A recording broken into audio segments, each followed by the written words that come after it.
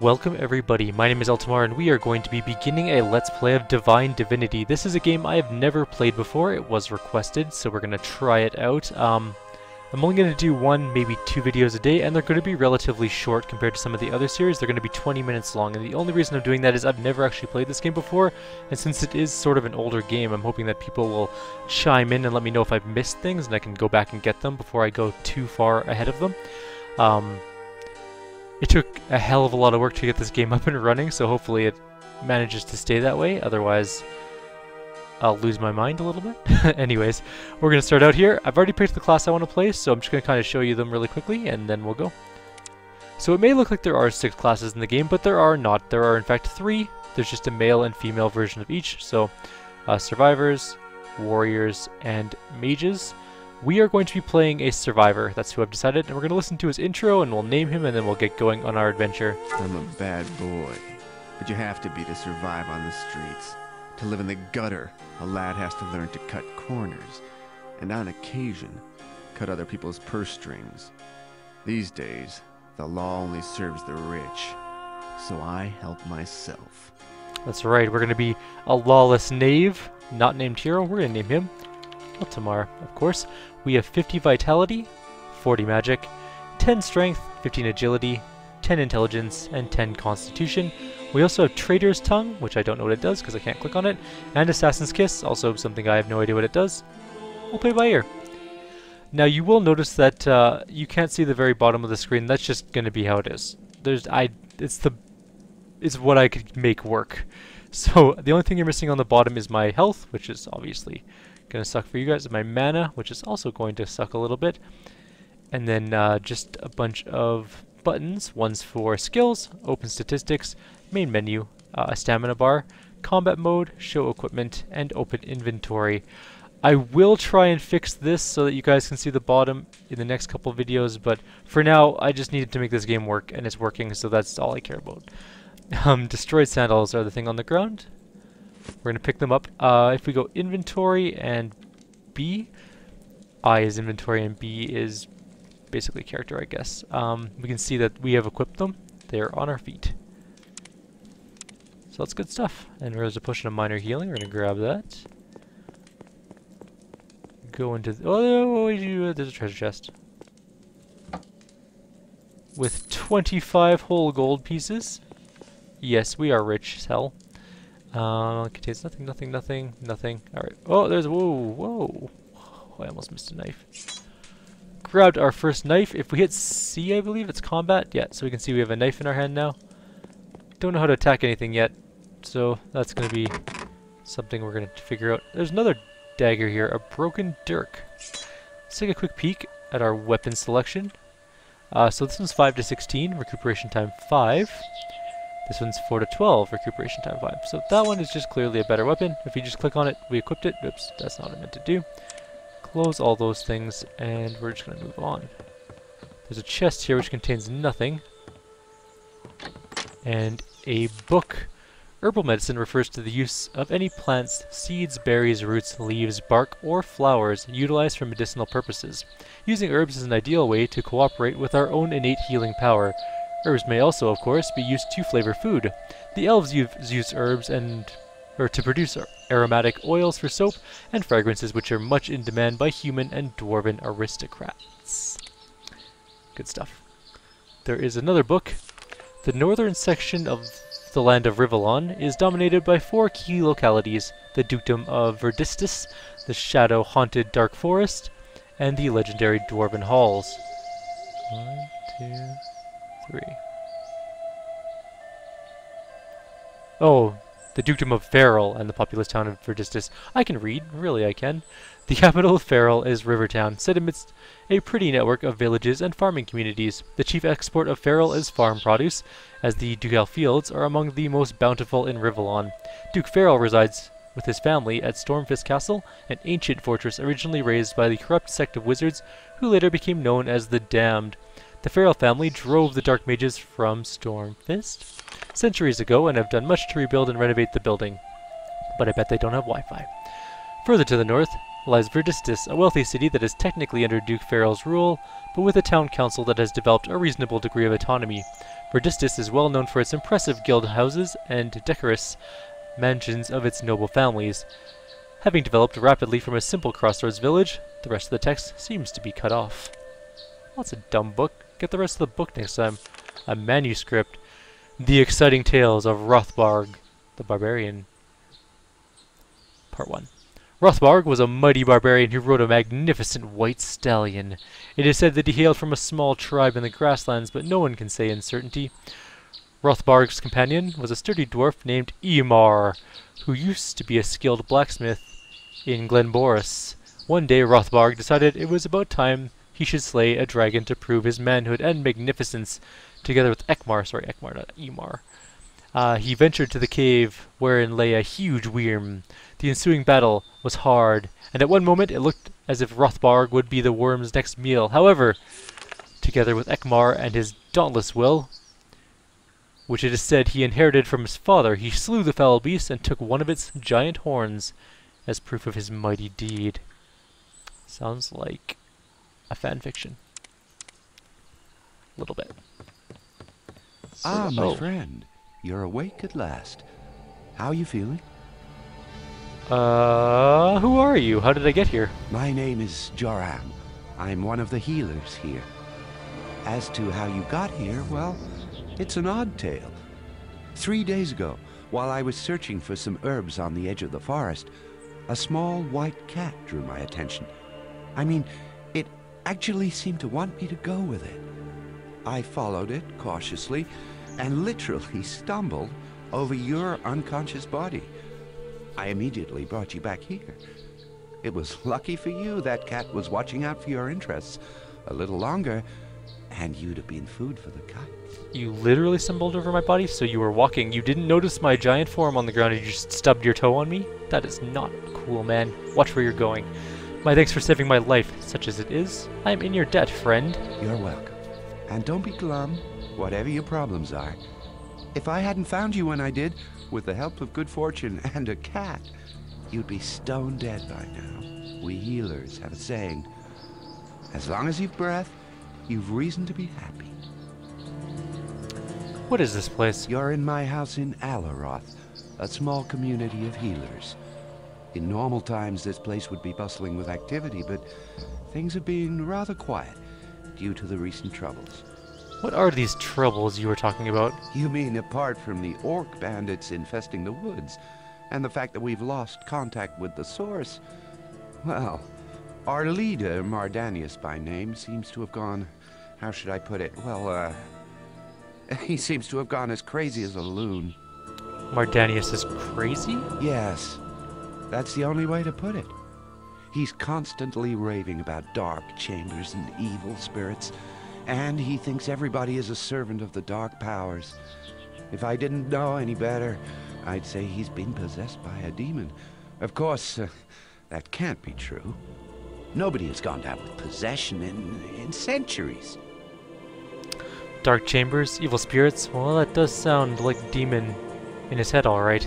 Look, why don't I repay my debt to you by putting the old boy out of his misery? I don't follow you. Good gods, you want to kill Mardaneus? Aye, look, you said yourself he's possessed by a demon. You know that such filth has to be destroyed, or can spread. You must be either a savage from the backwoods or, or a simpleton. This is the modern day, not the ages of darkness. Well, take care then. Uh, before you go, I couldn't carry your belongings with me when I brought you here. Feel free to take anything you find necessary from my house. I already did. We healers believe in sharing what we have with the needy. Huh, I was gonna do that anyway. I see. As you are in my debt, I'll feel free to speak my mind. Learn better manners No. if you want to get anywhere in this world. You were very lucky that I found and healed you. Many would have simply slit your throat and robbed your corpse. Good day to you. I trust we won't meet again. Well, we'll see about that. Whatever. I don't need your help, old man. I don't know why I was on the ground corpsey, but that's not my problem anymore. Whoa. Mardaneus, my poor old friend. what are you doing outside? Good Uh, question. Oh, oh, oh, it's you, Lanilor. I, I was. Ah, he will come. The end is upon us. Shaloi, you're raving, Mardaneus. You must take more rest. Come, let me take you home. But Nemesis is near. We must be vigilant. We must be pure. We must um, behave. Oh, what did you say, Lanilo? Rest? Oh, yes, I could try to sleep. If only the voice in my head would be silent. Sounds like demon spawn to me. Time to go kill him. We gotta put him out of his misery. That's probably not what we're supposed to do. Oh, I lost my cool exploration of town. I could see everything. Alright, uh, there's a sign. It says... Beware, dangerous dwarf to the north. Signed, Lanelor. Sounds like a challenge to me. So walking around is just clicking, which is pretty self-evident. Uh, contains nothing. Empty washing tub and a worn rake. It's technically a staff, but it sucks, so let's not grab that. I'm taking this plant. No, I'm not taking the plant. There's a door. Let's go in the door. Alright. Uh, hello? Oh, the game. Oh, there we go. Okay. Oh, right. If I hit Alt and don't move or whatever, don't issue a command, we stop moving. Cooking recipes 2. Chicken with fennel. When the chicken is suitably fried, add a quantity of water to your own liking. Then take fennel, parsley, and almonds and chop them well and true. Mix them with the stock from the chicken and set to boiling everything. After boiling, pass them all through a sieve, sieve, yeah, and add them to the chicken. This meal, with its subtle flavor of fennel and green sauce, is a most remarkable delight to the tongue. Good stuff. Alright, uh, let's... That's an elven chair. Let's go see what this is. Uh, manuscript number... Oh, this is different. Trionka tea from the dark forest for migraines, headaches, and nervous disorders. Two Kirin leaves for dryny leaves. Uh, almond syrup to taste, and half a teaspoon of ground ginger. Sounds like witchcraft to me. Manuscript number two. Cooking recipes number five. Strawberry pie. Take some fresh milk from your local farm and mix it along with cream, wine, saffron, and other spices, and bring everything to the boil. Beat egg yolks and honey together and pour into the cream mixture. Place cut strawberries and in baked pie shells and pour cream mixture over fruits. Bake everything for approximately 40 minutes. There's an elven cupboard with two things in it, a chair and a finished meal. I'm not able to use that. Probably not, it's a finished meal. Uh, so there's a bow, cool, and some dwarven ale. Excellent, we found some alcohol. We're good to go. There's an elven cupboard. There's several elven cupboards. Broken quilt armor, we're gonna grab that. Oh, look, it shows it on my character. We're gonna grab, grab some heavy leather boots. A worn spoon. Yes, that sounds like an excellent weapon. And, uh oh A storm scythe. That's a, that's a pretty big weapon. We can't use it, but that's okay. New leather gloves. We'll grab that as well. Oh, hit the button again. Contains nothing, contains nothing. We're not going to sleep in the bed. We don't really have a need to. We're at full life. We're also at full st- Is there a button for running? Ah, there we go. R is run. I figured there would be. I just couldn't figure out what it was for a second there.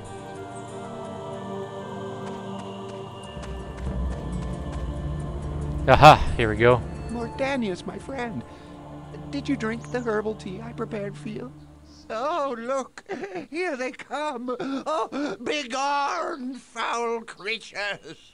Oh, dear me. Come, Mardaneus, I'll feed you the medicine myself. Dude's a raving my lunatic. Destruction.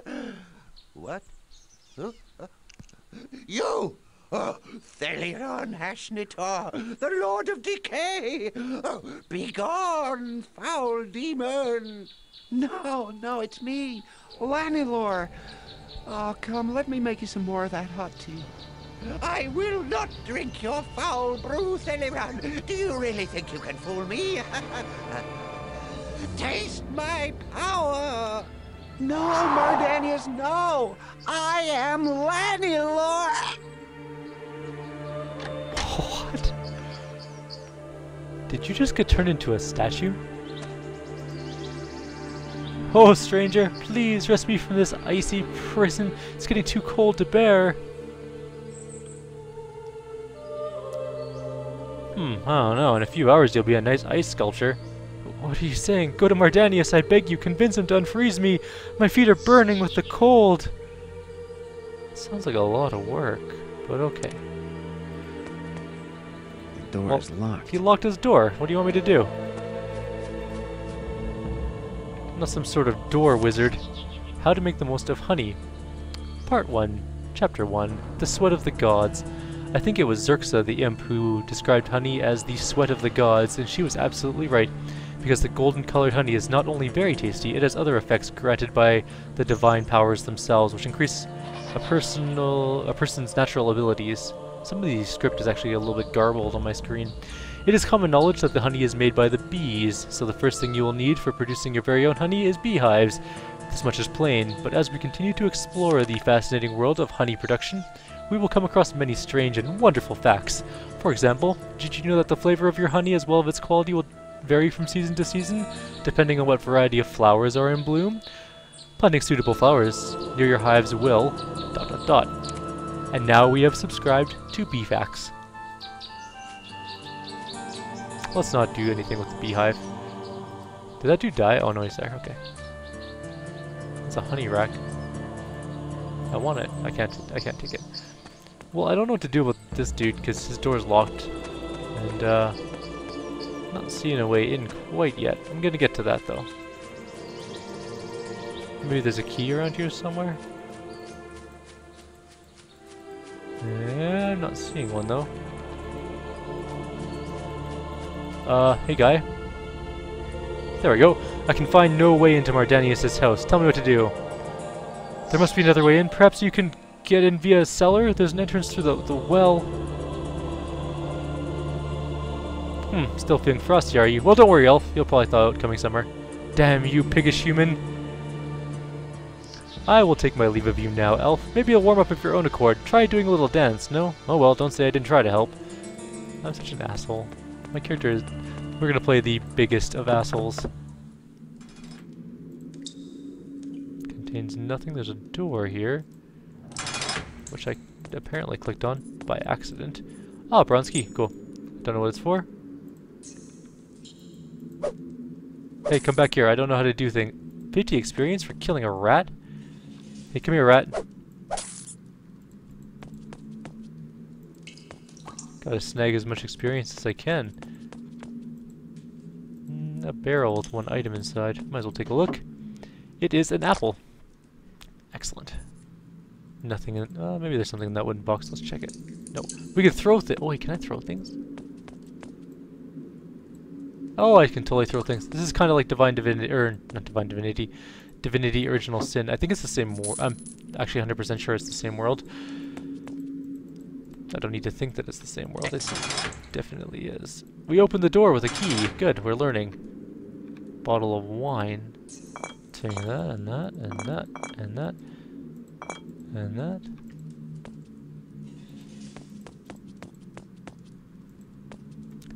Ignore the rotting food. There's a way up there, but we're gonna just... I just want to make sure I got everything in here. So there's... Something over here. Oops. Contains nothing. Oh! Die rat! Packages... Wait, was there a thing?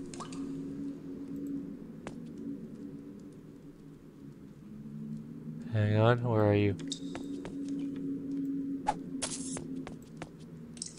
Did did it live? I didn't get experience for that.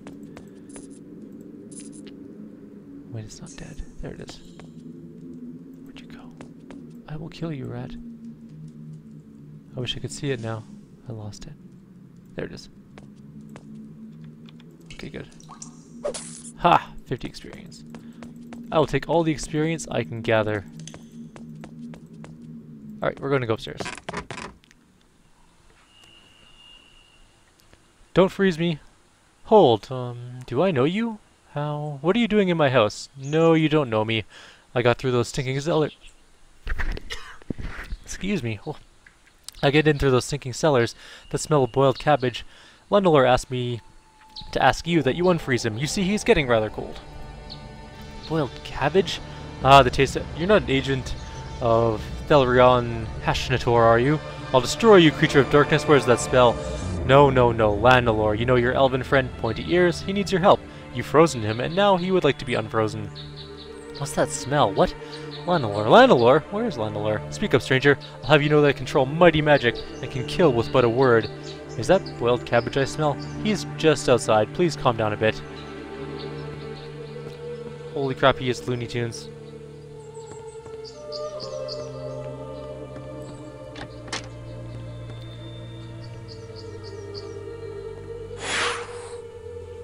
That was an experience. Thank you, stranger. I thought I was never going to get out of that prison. my feet are still numb. Seven gods, my toes have gone blue. Let me rub them. Ah, oh, it hurts. The blood is returning. Hey, that's that's better. Now what can I do for you, oh my benefactor? Uh, well, I'm gonna go scout around a bit. I'll return when I have some more questions for you, because I don't have any yet. That's gonna be the end of our first video. We're gonna continue on in the next one. Like always, if you have any suggestions or comments, especially for this game as I don't know what I'm doing, that would be wonderful. And I would love to hear about them below. Otherwise, I'll see you guys in the next video. We will be doing some more Divine Divinity, or we will also be starting King of Dragon Pass, which is the other game that was requested, and we're going to be doing that one also at the same time, just for funsies. Take care, everyone, and I will see you next time.